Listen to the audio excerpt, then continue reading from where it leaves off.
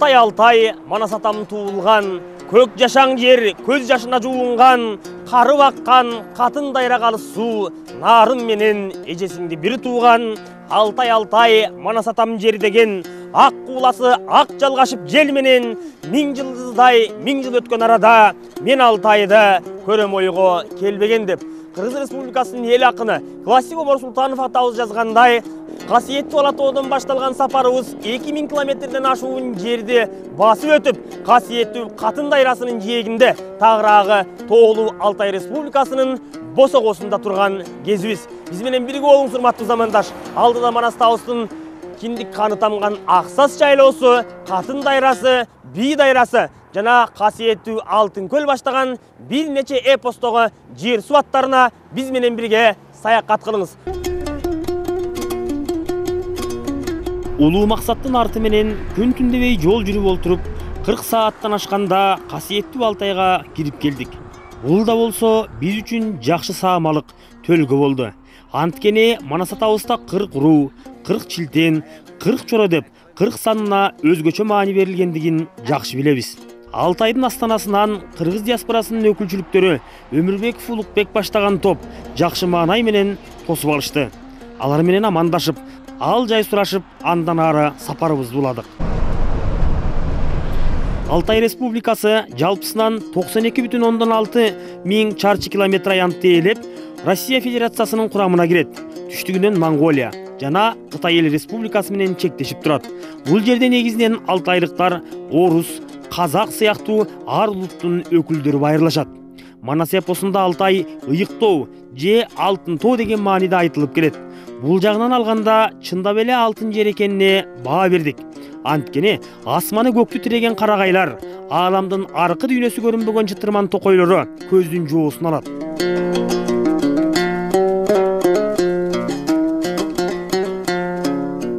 сапарыбыздын биринчи күнү манас эпосунда айтылган алтын көл же азыркы аталышы төөлөс көлүндө болду бул жерге кызыккандар көп экендигин келген адамдардын санынан эле байкасак болот. Киндик каным тамган жер кишиликке жанган жер деп болмамбет айткандай болуп манас табыздын киндик каны тамган жерде жүрөбүз бирок ал жөнүндө өзүнчө сөз кылабыз себеби манас тоосуна манас көлүнө чыгабыз азыр ушул алтын көл жөнүндө тагыраагы төөлөс көлү жөнүндө сөз кылсак деп турам бул көлдүн уламышы боюнча айта турган болсок алтын көл деп аталып калышынын негизги себеби ушул жерге кандын казынасы чөгөрүлгөн көлдүн тереңине ташталган деген дагы уламыштар бар буудандар жөнүндө сөз кылабыз уламыштарды суудан суурулуп чыккан дулдулдарды сөз кылганда бул жердеги жергиликтүү элдин уламышында суудан суурулуп чыккан буудандар ушул алтын көлдөн чыгат деп дагы айтышат мындай да уламыштары бар. Манастын өзүнө келе турган болсок төөлөс көлдүн боюнда тегеректеп турушуп тепкедей болгон бир жерге текше жыйын курушуп алтын көлдүн боюнда айланчыктап турушуп алакандай бир жерге абыдан жыйын курушуп деп бул жерде чоң жыйындардын өткөндүгү чоң маселелердин чечилгендиги өзгөчө манастын хан шайлоо учурундагы окуялардын арасында бул жер байма бай эскерилет мына бул мугалимдердин арасында сөз болуп калып атат. Эмне үчүн ушундай жерди таштап кетти калтырып койсо болбойт беле дегендей бир чети суктануу менен бир чети кызганыч менен айтылган суроо бул.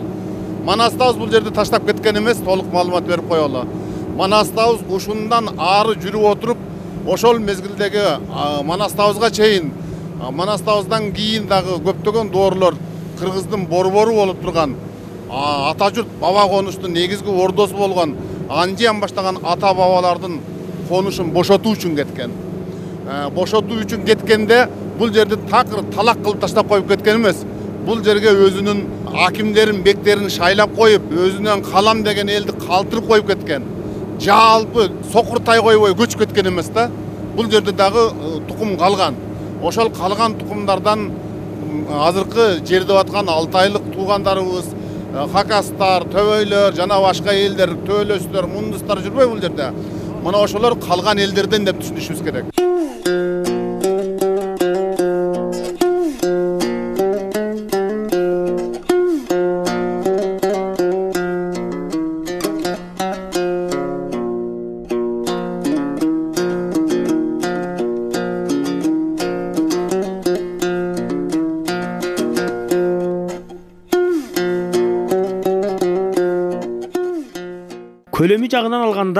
Алганда россиядагы байкал көлүнөн кийинки орунда дал ушул алтын көл турат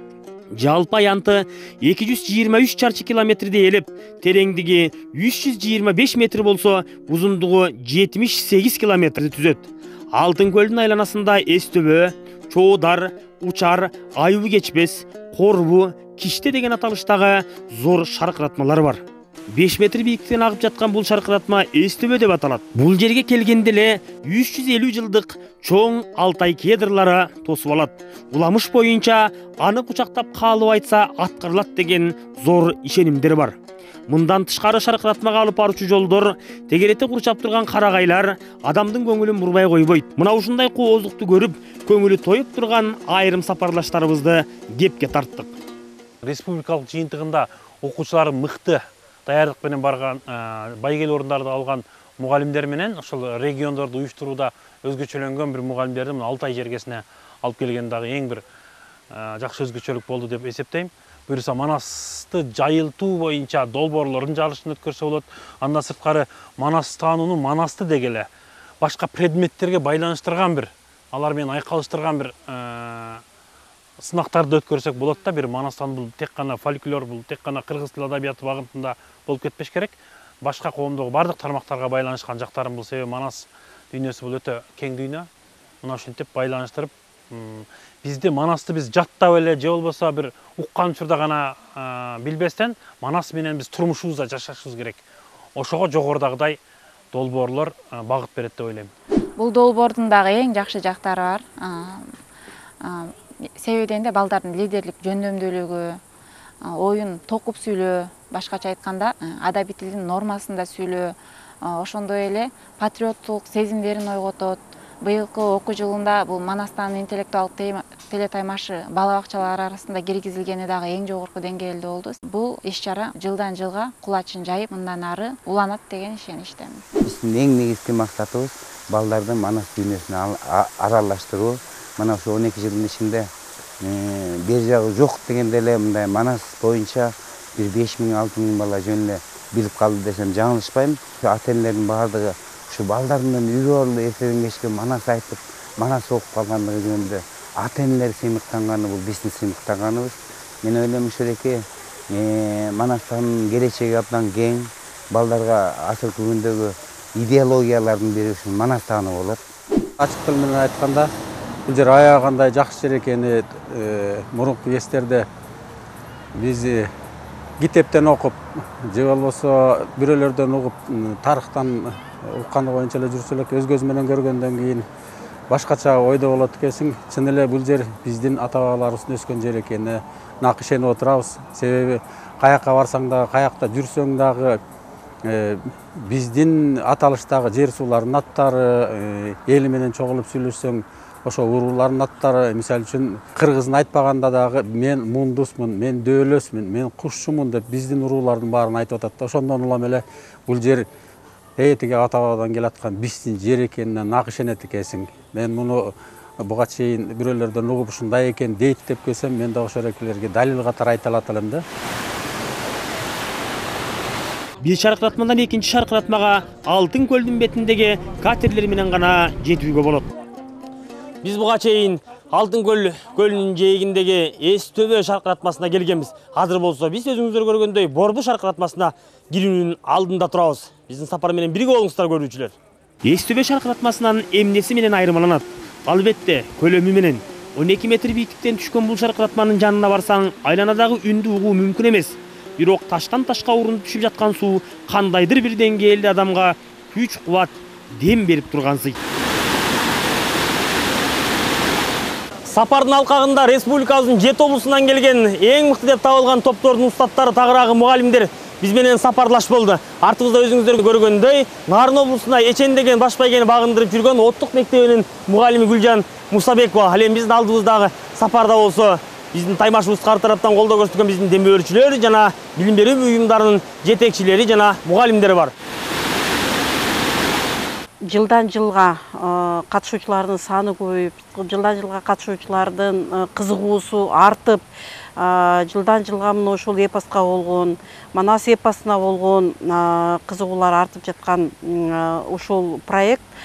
сан жагынан да сапат жагынан дагы жылдан жылга өзгөрүп жылдан жылга географиялык чеги кеңейип келет. Бул билим берүү тармагында гана эмес жогорку орган бийлик органдары тарабынан дагы жетип жаткандыгы бүгүнкү күндө белгилүү. Манаска болгон кызыгуунун өтө күч алып жаткандыгын байкоого болот. Манас таануу интеллектуалдык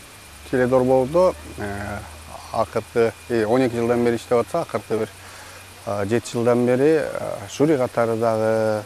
ар кайсындай маселелер болгон кездерде кеңешип сүйлөшүп алып ошол эле мугалимдер менен ошол эле уюштуруучулар менен суроо даярдап атканда сүйлөшүп калган учурларда манас эпосу бул кең изилденбеген океан көп нерсе жатат кыргыздын идеологиясы жатат дейбиз. Ошого катышып аткан балдардын ошол конкурска катышып аткан балдардын даярдыктарын мына быйылкы эле жылы отуз алты миңден ашык окуучу катышты деп ошол балдарга тийгизген таасирлерин карап отурсак эң негизгиси мамлекет жасай турган ишти жасап атат го деп айткым келет себеби ошол балдар кыргыздын идеологиясы манас эпосунда жаткандыгын суроо жооп менен окуп билип жеке эле манастын үч жылдык эмес семетейди окуп даярданышып сейтектен суроолор болуп ошолордо даярданып өзүнүн азыркы түшүнүгү менен ошо идеологияны да түшүндүрүп айтып аткандарын өзүнүн түшүнүгү менен айтып аткандарын көрсөк болот. Дайым балдар менен жолукканда дагы ушул мүмкүнчүлүк болуп калганда кыргызстандын кудай буюрса көтөрө турган кыргызстанды көтөрө турган бала ушул манас таанууга катышкан балдардан чыгат деп дайым айтып келебиз өзүбүздүн практикада окуучуларды командага даярдап алгандагы окуучу менен ошол манас эпосун толугу менен окуп бүткөндөгү окуучуну албетте өзгөрүүлөргө учраганын өзүбүздүн практикада байкадык. Окуучу ошол эле эпосту окуп жатып өзүн кадыресе бир ушунчалык билимдүү адам катары өздөрүн даярдашат чечендикке үйрөнүшөт илим билимге үйрөнүшөт көп нерселерди тарбиялык мааниси чыны менен чоң. Анткени бул эпосубуз жеке эле баатырдык эпос эмес анын ичинде жанагындай илим билимдер жанагындай чалкып жаткан ушундай кереметтер окуучуларды чыны менен аябагандай жакшы тарбияга алып келет корбу шаркыратмасынын айланасы өзгөчө жасалгаланып туристтер үчүн жакшы шарттар түзүлгөнүн байкадык. Ар бир келген мейманды жылмаюу менен тосуп алып берген сурообузга жооп берип жатышты. Анан бул жасалгаларга сөзсүз көңүлүң бурулат. Байкадыңызбы? Сувенирлери таза табигый жыгачтардан жасалат экен. Мына ошентип алтын көлгө болгон саякатыбыз соңуна чыкты. Эртең таң алды менен манас көлүнө сапар алабыз үрүл бүрүл таң менен үмүт менен шаң менен бабабыздын киндик каны тамган жер деп кишиликке жанган жер деп манас тоосун манас көлүн көздөй беттедик. Жалпы кыргыз үчүн бул зор сыймык деп ойлойм. Мазарлуу жерлерди басып эмне окуялар бар жолдо кандай окуялар болот мунун баардыгын кеп кылып отурабыз биз менен бирге болуңуздар.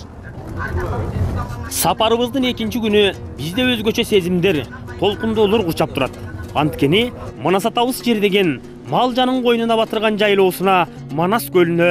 сапар тартып бара жатабыз ал жерге жетүү оңой эмес алдыда алты сааттык катаал жол турат ал жерге баардык эле унаалар бара албагандыктан катайын жол тандабасын даярдап айдоочу күтүп турган экен жол тандабаска түшүп алып кайрадан токойлорду аралап былкылдап жаткан саздарга моюн бербей булуттар менен жарышып тоолорду өрдөп бара жаттык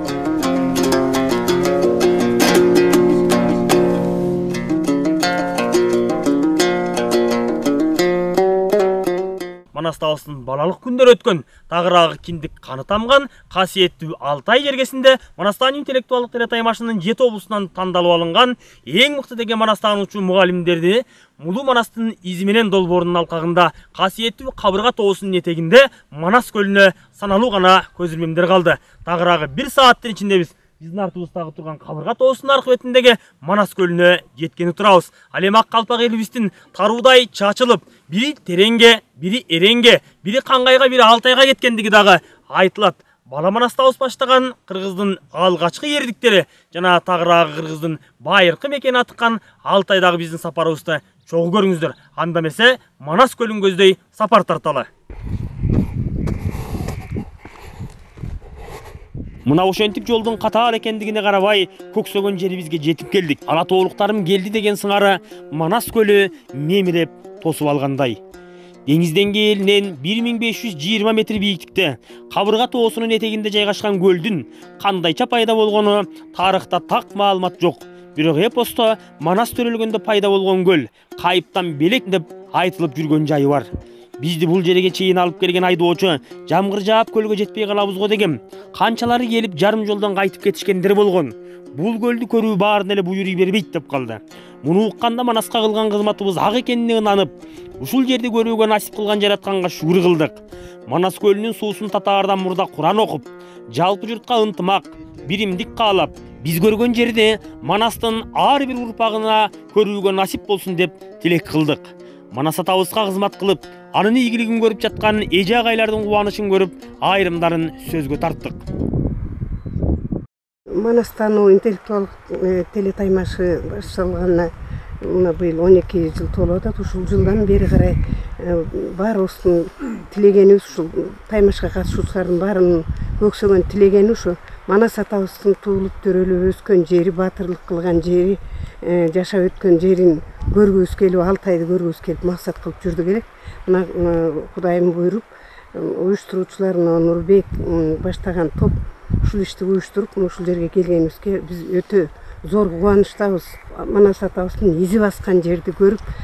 мынабу көлдү көрүп абдан кубанып отурабыз. Бир башкача ажайып дүйнөгө келгендей тим эле бейиштин төрүнө келгендей ушунчалык бир кең дүйнө могу көл чөйчөктөй болуп турса дагы көзүбүзгө ысык көлдөн да кенен болуп бир зор өзүбүзгө бир башкача энергия алып бир зор кубануу менен көкүрөгүбүз толуп турат өзүбүздүн ата бабалардын жерине келет дегендиги ушундай жакшы ой менен келишиптир баары тең ден соолугу жакшы болду өйдө жака бир жарым эки километрдей жөө бастык элек ойлодум эле арабызда улуу кишилер бар экен сексен жаштан чукулдаган ошолордун ден соолугу бияктын абасы таасир эттиби ушунчалык абасы ушунчалык таза ушунчалык өсүмдүктөрдүн түрлөрү өсөт экен ошонун таасири дейдиби жеңил экен. Эч ким ден соолугуну чапырылткан жок. Андан кийинки сапарыбыз алтай республикасындагы эл музейинде уланды. Бул жерде эмгектенген кызматкерлер бизди жылуу кабыл алып ал тургай кызматташууга даяр экендигин билдиришти эки элдин достугуна биз да тилектеш болуп ала тоодон күтүп алаарыбызды билдирдик андан кийин кызматкерлер алтай элинин мурунку жашоосу кандай болгон эмне менен алектенишкен салт санаасы тууралуу баяндап жалпы музейи менен тааныштырып чыгышты условно провести линию с востока на запад, она будет делить жилище на две половины. Женская половина и мужская половина. Все, что связано с хозяйственной деятельностью, женщина размещается вот на женской половине, и это служит как бы кухней, вот эта часть. бул жагынан алганда окшоштуктар көп экенин байкадык иш чаранын соңунда алтай жергесинин таланттарынын өнөрүнө күбө болдук қоңырым қайтқан кешірім ой енейім енейім. Көзімнің оды енейім ой енейім енейім көзіме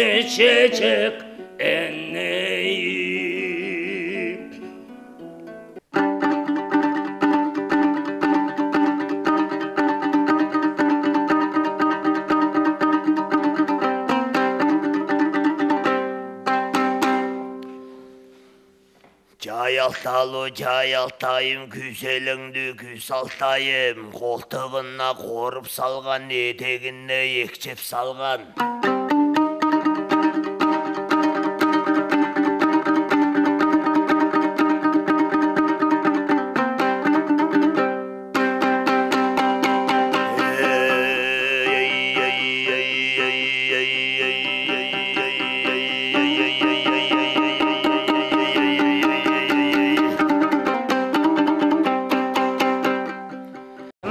интеллектуалдык республикалык туруна келип катыштык бул жерден катышканда эми быйыл окуучуларым менен мен тажрыйба алмашып көрүп ошол жерден э, кандай болот болду экен деген ой менен келдик бирок күтүүсүз жерден э, баш байгени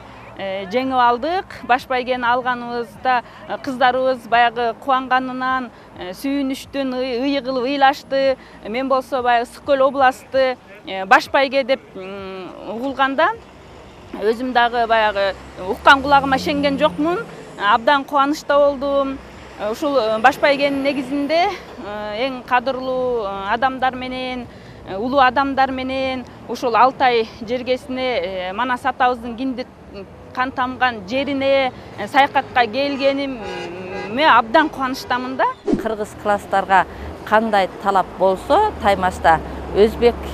окуучуларына дагы орус класстын окуучуларына дагы мына ушундай талаптар коюлат ошол талаптардын баардыгына жооп берип гана ушул ийгиликтерге жетишебиз мына ушул үзүлүү эмгегимин натыйжасында быйыл биз буйрук насип кылып алтайга келип отурабыз сонун эс алуу болду аябай жакты уюштуруучуларга дагы ыраазычылык билдиремин биз баратканда ошол жөн гана бир самолет менен же поезд менен түз кетип калбай ошол бир автобус менен казакстандын алматыдан баштап алматыдан манасты алма кой бер деп кездешет ая күздү бойлоп талды коргондун жээгин сыдырып семейдин боюн кыдырып анан ошол барнаул аркылуу бий шаарын жээктеп алтай жергесине бардык ошол ая күз деле семей деле бул манаста айтылган жерлер казакстанда андан сырткары биз билбеген манаста көркөм сөз каражаттарында айтылып кеткен жайлоолор ойдуң түсөң талаалар дагы манастан ар бир жерин айтып баса белгилеп мугалимдерге ошол окутуп аткан эпостогу окуянын жүрүшү менен таанышып көргөзүп отуруп бардык да казакстандын бир тарабын бойлой ал эми келе жатканда кайрадан ошол жолду кайталабай мына биз өзүңүздөр көрүп турган астана шаарында манаст айтылат ошол жерди бойлоп манастын изи менен дегендей бир мезгилде алуу кемолто чапканда биздин бабаларыбыз бирөө кетип кангайга бирөө кетип алтайга бирөө кетип эреңге бирөө түшүп кетти тереңге дегендей ошо алтайга кеткенде алты айлап жол жүрүп азып тозуп кеткенде жөө жалаңдап ат минбей кепиш кийбей байпакчан кейит экен курган жан дегендей ушул казакстандын бир тарабын бойлоп кетип качан алтайга барып манастабыз төрөлүп кыргыздын каганатын курап кыргыздын дөөлөтүн түптөп кайрадан бир эгемендүү мамлекеттин элесин чагылдырып эртең келечегине чоң камылга көрүп бир чоң дымак менен чоң аракет менен чоң бир шарт менен келгендегисин ырым кылып алтайдан манастын бир ооматын көтөрөлү дөөлөтүн көтөрөлү кыргыз жергесинде бир жандандыралы деген нукта кайрадан жаңы маршрут менен жаңы жер суулар менен басып ошо ала тоого болгон сапарыбыз кароо алдында турат байрактуу бакайдын журту сиздер он эки жыл бою көксөп дегдеп күткөн улуу күндөгү биздин сапарды көрдүңүздөр өзүңүздөр билгендей манастан интеллектуалдык телетаймашы алгачкы кадамын таштаган күндөн тарта ушул күнгө чейин манастабыздын киндик каны тамган касиеттүү алтай жергесине окуучуларды ага кошуп албетте улуу устаттар мугалимдерди ак иштин ээлери болгон кесипкөйлөрдү алтайга алып келүүнү максат так ошол саамалык так ошол тилек он эки жылдан кийин тагыраагы бир мүчөл жыл өткөндө ишке ашып олтурат өзүңүздөр көргөндөй биздин сапарыбызда республикабыздын аймагындагы манастаган үчүн ичкенин ашын жерге койгон эң мыкты деп тандалган кадырлуу насаатчыларыбыз улуу устаттар мугалимдер биз менен сапарлаш болду бул сапардын алкагында сиздер манастабыздын киндик каны тамган кадимки кабырга тоосунун этегиндеги ак саз жайлоосу аны менен катар манас көлү жана манас чокусу баштаган касиеттүү жайларга биздин сапарлаштардын кылган зыяраттарын көрдүңүздөр кайрадан касиеттүү жайдан жүз кийинки он үчүнчү айлампанын жеңүүчүлөрүн алып келгенге чейин жалпы журт эсен туруңуздар алтай менен ала тоонун ортосу түбөлүккө бир болсун аталарыбыздын арбагы түбөлүккө элибизди колдоп улуу ырыбыз кыргыз өчкөнгө чейин түбөлүккө жаңыра берсин